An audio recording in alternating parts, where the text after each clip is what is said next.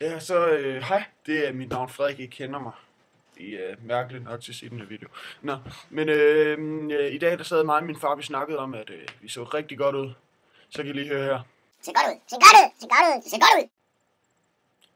Ja, sådan kan man også sige det.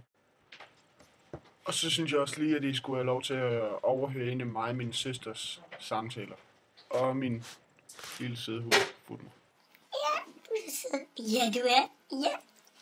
Ja, ikke slæg mig. Nej. Hvad så, Signe? Hvordan går det? Det går fint. Seriøst?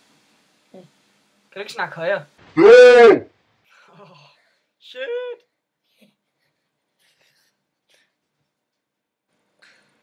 Du er mærkelig. Skal jeg sige det igen?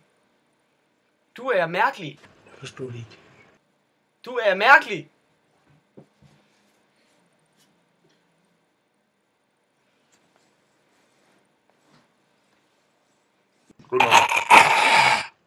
Jeg tror, vi stopper her, Signe. Og som I kan se, så er min lille søster sådan lidt mærkelig. Og, og har en meget mærkelig stemme og dyb og sådan noget.